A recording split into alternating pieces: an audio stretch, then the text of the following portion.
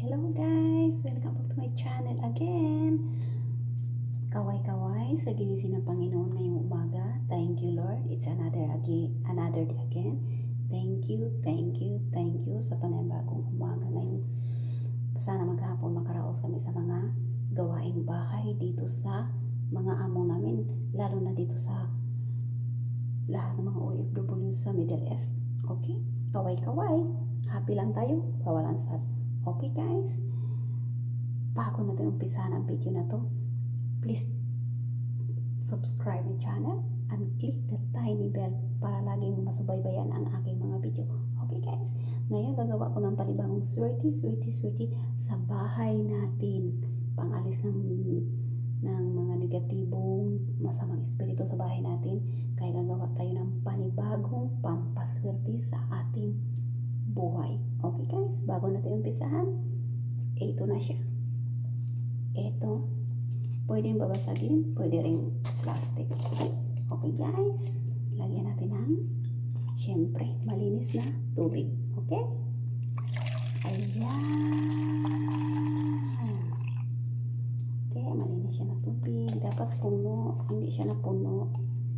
Okay, ayan na siya. Tapos, isunod natin yung bulak. Kasi ito ang bulak ang magaan ang pakiramdam mo at lahat ng mga problema mo nasusolba ng madali lang. Kaya bulak ay magaan para sa buhay natin. Ayan na siya. Tingnan nyo guys di ba? Lulubog yan siya sa ilalim. Kaya ayan na. Dahan-dahan na siyang lumubog Okay. Kita nyo guys, lumubog na siya. Tapos, isusunod natin ang pitong pirasong garlic. Ang garlic guys, pang alis to sa masamang espiritu. Alam niyo naman talaga to eh. Kahit yung mga buntis nga daw, maglalagay nito. Kay pang alis to sa mga aswang. Yun ang sabi nila. Pitong piraso, wala nang balat. Okay guys, isa, dalawa, tatlo, apat, lima, anim, pito. Okay. Ayan na siya. Diba? Tapos, isunod natin yung pitong piraso ng laurel. Pero yung laurel, guys, ano to siya? Patayo. Pero tingnan mo, ang ganda pagkagawa. Yung ibang gumagawa nito, yung bawang, bumababa. Pero sa akin, nakalutang na siya. Ibig sabihin, maganda ang pangitain. Okay? Ito siya guys, itatayo natin paglagay. Sa kanila, hindi daw tumatayo kasi ang bawang nila nakalubog. Okay? Pitong pirasong ganito. Dalawa. Tatlo. Apat. Lima. Anim. Pito. Okay? Ayan na siya guys. Yung sa iba nitong gumagawa, hindi tumatayo ang mga laurel.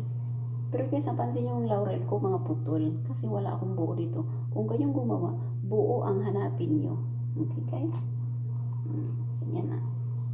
Tingnan mo, nakatayo ang mga laurel ko. Kasi na, ang bawang ko ay nakalutang. Ayan na siya. Ayan na. Okay guys? Hmm, ayan na siya. Okay. Gawin mo to guys ng solo. Walang nakakakita. At saka martis at saka bernice. Kayong talaga ang baba ng mga angel nga magbasbas nito para maalis ang mga masasamang espiritu sa bahay natin at madarating yung mga swerte sa buwa, mga hinanaing natin. Ayan na siya. Ayan na. Simple lang hindi mabigat gawin, hindi ma sagabal sa buhay natin. Andito lang, mura lang, andiyan lang sa bahay natin sa paligid, mabibili lang natin ang mura. Gagawin natin ito guys. Siyempre, mangarapan tayo, lubos-lubusin na natin. Diba guys? Gaya ng mga sinasabi ko sa inyo sa mga iba kong mga video, kung may itatanim ka, siyempre may anihin ka. Okay guys? Ito siya, um, gawin mo to at pasinagan mo to sa, sa araw ng 30 minutes sa umaga para mabasbasan siya At saka pag ito'y nangingitim na ang tubig, ibig sabihin, hinihigop na niyo mga masamang espiritu sa looban ng bahay natin, umalis na siya.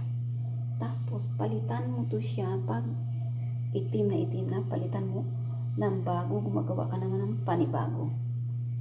Okay guys, ganun lang kasimple. Ano ba to? Yan, yung pag umiitim na siya, ang mga bad spirit, umalis na. Nahihigop niya. Kaya pag talagang maitim na, pwede mo na siyang palitan ng panibago. Yun lang. Simple lang. Gawin mo to guys. Kailangan na isa isip, isa puso, may kasamang panalangin, may halong pagmamahal, good vibes lang. Disclaimer lang tayo guys, yung mga hindi naniniwala dyan, tabi-tabi muna ang mga bata, hindi kasali dito. Tapos guys, takpan mo to siya para hindi siya matakon. Okay? At ilagay mo lang to sa isang tabi sa sulok ng bahay mo. Pwede na. Parang wala lang. Di ba? Bigla na lang, boom ka na kaagad mga hinanaing mo. Hindi mo na malayan, nawawala na siya, yung mga problema mo, yung mga gusto mong makamit, dumadating na hindi mo na malayan, nandyan na pala. Okay guys? That's all for today. Thanks for watching guys. Bye! God bless ating lahat. Okay, bye-bye. Bago natin tapusin ang video na to, please subscribe my channel again and comment down below and click the tiny bell para masubaybayan mo yung aking mga video. Okay guys, bye-bye!